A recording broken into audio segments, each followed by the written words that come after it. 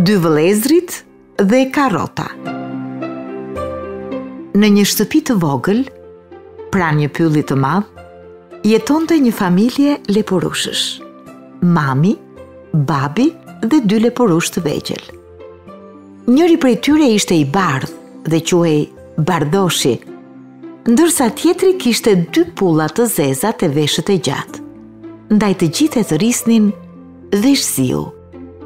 Bardhoshi ishte pak më i vogël se Veshziu. Të dy vëllezërit e donin shumë njëri-tjetrin. Gjithë ditën rrinin bashkë, hanin mëngjesin, luanin, mësonin dhe ndihmonin mamin dhe babin. Mëngjeset në shtëpinë e tyre ishin shumë të bukura. Prindërit iu jepnin atyre plot karota të freskëta, ca të mëdha e ca të vogla, dhe dy lepurushët i hanin të gjitha, sepse karotat iu pëlqenin shumë. Edhe atë mëngjes, mami Lepurushja solli karotat e freskëta në tryezë.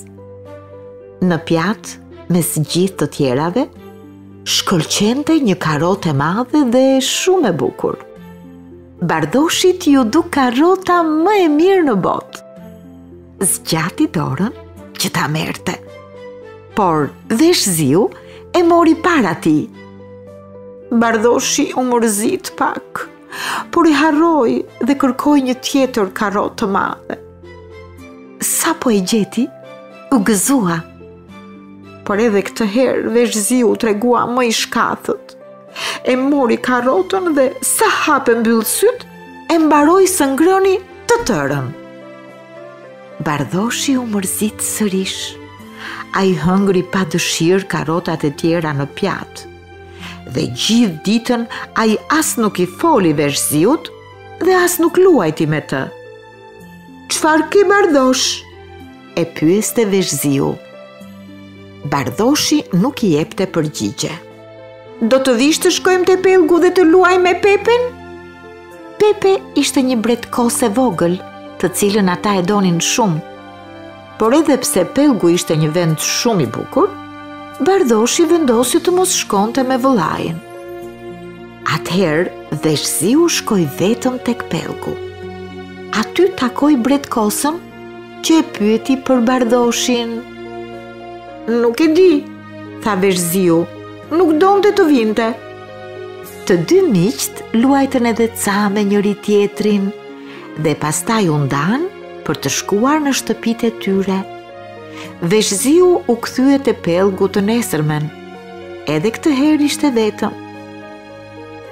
Nuk e di pse Bardhoshi nuk luan më me mua, i tha Veshziu bretkosës Pepe. Ndoshta është mirë të flasësh me mami lepurushen, ajo do të të ndihmojë, e këshilloi bretkosa.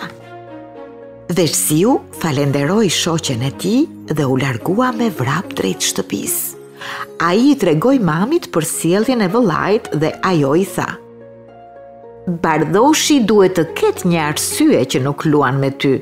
Mund ta pyesësh vetë më mirë. Ndërsa Veshziu bisedonte me mamin, Bardhoshi ishte nisur drejt pellgut për të takuar shoqen e tij. Kishte dy ditë që nuk luante te pellgu me bretkosën. Ec ec dhe ja ku u gjend pranë pellgut të vogël, ku luante gjithmonë me Veshziun. U ul në bar dhe filloi të shikonte bretkosat që kërcenin mbi ujë. Guak, guak, ç'kemi Bardhosh? E përshëndeti bretkosa Pepe. Përse je i mërzitur? Bardhoshi nuk duroi më, dhe ia tregoi të gjitha shoqes së tij. Bretkosa e dëgjoi dhe i tha. Unë mendoj se duhet të pyesësh mamin tënd. Ajo është e rritur dhe mund të të ndihmojë. Bardhoshit i pëlqeu shumë ajo që tha shoqja e tij. Pasi e falënderoi, u largua me vrap drejt shtëpisë. Lepurushe Lili ishte duke përgatitur drekën kur Bardhoshi hyri në shtëpi. Jam mërzitur me Veshziun. Filloi të tregonte lepurushi me sytë plot lot. Ai zgjedh gjithmonë karotën që më pëlqen mua. Ai zgjedh i pari dhe unë asnjëherë nuk marr karotën që dua. E dalëngadalë, Bardhoshi ia tregoi gjithçka që kishte ndodhur atë mëngjes, teksa hante karota me vëllain. Dhe mami e pyeti, Ia ke thënë Veshziut këto fjalë që më the mua? Jo, u përgjigj Bardhoshi. Provoje të flasësh me vëllain dhe t'ia thuash të gjitha këto që më the mua. Pastaj flasim përsëri. Bardhoshi mendoi se ishte një ide e mirë, por i vinte pak turp. Megjithatë, ai hapi derën e shtëpisë, dhe shkoi drejt vëllait të tij që ishte ulur nën hijen e një peme. Luajmë bashkë, i tha me zë të ulët. Ti nuk doje të luaje me mua, i tha Veshziu, u mërzita me ty. Bardhoshi mori zemër dhe i tha, edhe unë jam i mërzitur me ty. Veshziu u çudit. Ai nuk kishte bërë asgjë për të mërzitur vëllain e tij të vogël. Përse je mërzitur me mua? e pyeti. Ti zgjidh gjithmonë karotat më të mira për të ngrënë, më të mëdhat, më të bukurat, më të shijshmet. Sa herë që më pëlqen një karotë, ti je i pari që e merr. E mban mend atë karotën më të madhe që ishte në pjatë? Doja ta haja unë, por ti e more i pari. I tha Bardhoshi, Nuk e dija, po të më kishe thënë, do të ta jepja ty. U përgjigj Veshziu.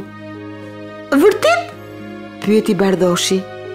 Veshziu pohoi me kokë dhe shtoi se duke filluar nga dita e nesërme, ai do ta linte vëllain të zgjidhte gjithmonë i pari karotat që i pëlqenin më shumë.